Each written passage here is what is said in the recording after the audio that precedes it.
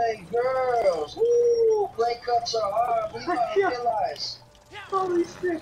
Holy god, this was good. Holy, so what? Is that like? Is like It's a, a real guy.